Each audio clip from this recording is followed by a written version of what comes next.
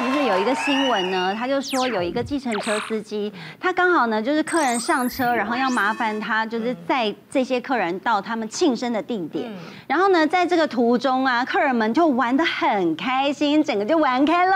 还等不到在 party 现场就先开心。呀，然后呢，就在后面很开心的时候呢，然后呢，他们就在后面开始砸蛋糕。他们是怎样？上车前有喝过是不是？砸蛋糕。对啊，他们就在后面就开始砸蛋糕，然后自己玩的很开心，然后最后他们还吐，然后就是反正把那个车上弄得乱七八糟，然后一直嘻嘻哈哈的。那个司机，我觉得他也不是省油的灯，他很厉害，不动声色，默默的就把车直接开到警察局的门口，就是这样。报警抓人，对，这个马上就要赔那个清洁费。对，然后呢，重点是乘客一看到说啊不对劲，怎么到警察局，立刻想要从后车厢逃跑。哎，后车厢太厉害了吧？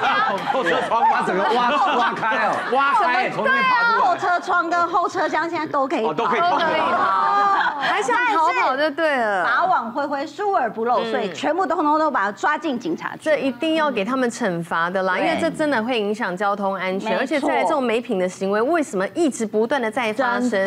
所以这些奥客啊，真的是无下限。我朋友亲身经验，因为我朋友是柜姐，嗯，然后他们专柜有一层呢，就是卖很多精品啊、珠宝啊，然后跟衣服，然后他是站柜是站服装的，然后旁边有一个柜位呢是卖珠宝的，然后就有一天呢，就有一个阿姨来那个珠珠宝的那个店上，就是她卖金饰的，她说她要退货。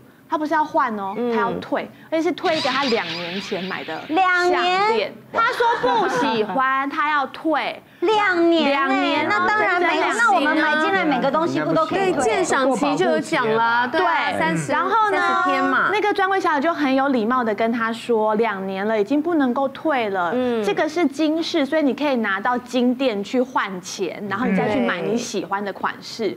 结果那个阿姨就不高兴，她就带了一把小椅子，从早。早上十一点，百货公司开门，做到九点半。不管是谁经过，他要在那边，这烂店不要逛，不好，态度不好，不要逛，这样子，他就一这样子，他就做闹，他就是闹到你们没有办法做生意呀。他做两天，哇，然后呢，主管出来跟他说对不起，说不好意思，这真的没有办法换，然后讲了很多法律的程序，可是就是不行。然后到了第三天，阿姨还是来，还是坚持要换，而且不让任何。人靠近那个店柜，没想到那个知名的百货公司就跟那个金氏的店里的主管说：“对，请你退钱给他，不然我们这层楼都不能做生意。”他就真的成功换，就是退拿到两年前买的金饰的全额的钱，还没有打折。哇！珠宝店的专柜小姐气到离职。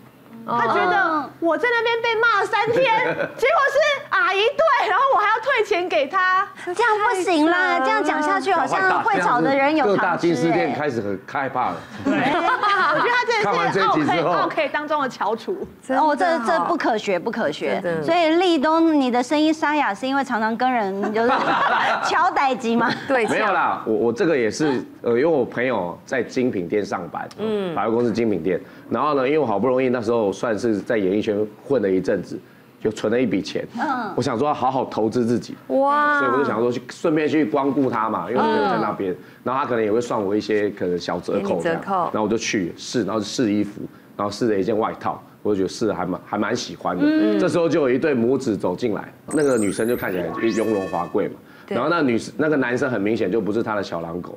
因为他的脸是臭的，很臭。通常你是小狼狗，你不会那么那么悲伤。哦，不能把情绪表现在脸上。脸上，阿姨她不想这个是他的职业，所以很明显他们就是一对母子。哦，对对对。所以儿子就是不想跟妈妈逛街，是不是？就是那种典型的。然后就他妈妈就突然就问说：“哎，那那个这个身这个这件这一件多少钱？”你说你身上在穿的，然后他就说大概大概两三万。他以为你是店员吗？不是不是，他以为他问那个店员，他问那个店员说，哎，这个这个这一件多少钱？然后说两三万这样子。哦。然后他就说啊，那那还有吗？然后他就说，哎，我那个朋友就说，哎，不好意思，这是最后一件。哦。然后他就说，那我要。脱下来，我要。然后我说 直接抢别的客人身上我想说他他是说要我还是要那个衣服？你想太多了。然后想吃一点比较软的饭。然后然后我那个朋友就说。就是帮我说话嘛，因为这个是这个先生先看到，说要买，他已经说要买，他说我不管，他说你你请问你知道我是谁吗？是谁？不知道，不是就是那个，然后对啊，然后我那个朋友还说，哎，请问小姐你贵姓？然后他说我是这间店的 VIP。我一年在，我一年在这间店消费是是上百万，哎呦，上百万的，你去你去，这时候立冬就真的脱下说阿姨来你请，你去跟其他人讲说米歇尔是谁，他们都知道米歇尔，对，没有人不知道，对，那要看是米歇尔六还是米歇尔藏，然后，然后他，然后我那个店，我那个店员朋友就很紧张，因为他说哇他脸这么臭，然后去叫你们店长出来，对，不然我跟你讲，而且我直接跟你们一句电话，我就可以弄到总公司去。哇塞，他都还没试穿是怎样啊？然后那个就很可见你那件外套你穿起来多好看，多帅，帅成这样，然后去抢哎，对，好，我觉得重点是你的人加分，对，谢谢，是衣架子，谢谢。然后后来我就想说太尴尬了，我就干脆脱下来，我就脱下来，然后我就说啊，没关系，不然给你来，先试穿，对你先试穿，你先试穿。然后他就说，他就拿给他儿子，就你，哎，你去试穿，你去试穿，然后一穿出来。然后一穿出来就小灰，洗溜溜秋秋。然后他的儿子脸更臭，然后妈这件好丑，可以啦，这件可以啦。他们两个就开始争执起来。他说我不要买，我说我要买。然后我就在旁边就突然又放一个冷箭说，哦，所以现在是不买了吗？嗯。然后那个妈妈就没有啊，我要买啊，我一定要买，我一定要买。后来就硬买，然后那个然后那个他跟那个就一直推。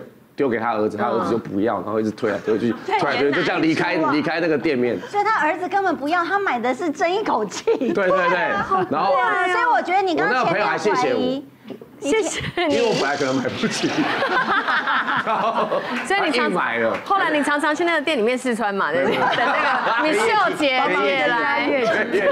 更夸张的经历是，那时候我去看房子，人家说，哎，王力宏刚刚有来看过，就我就下定。